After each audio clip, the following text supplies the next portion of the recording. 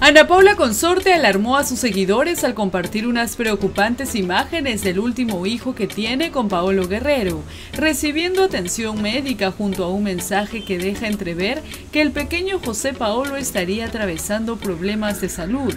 Hijo de Paolo Guerrero y Ana Paula Consorte, ¿se encuentra hospitalizado? A través de sus historias de Instagram, la brasileña sorprendió a sus seguidores al publicar un video junto a su último hijo de apenas un mes de nacido, a quien carga y arrulla entre sus brazos, mientras le da besos para tranquilizarlo.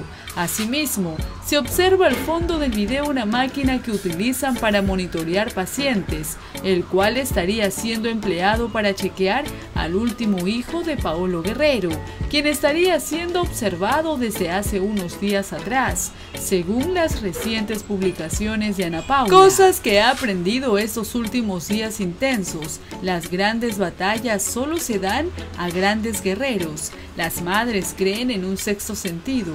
La familia y la salud son los activos más preciados. Una puerta cerrada y todo se queda atrás sin importar quién eres o lo que tienes. Solo eres tú y Dios fue el mensaje que escribió la influencer brasileña como descripción de su video.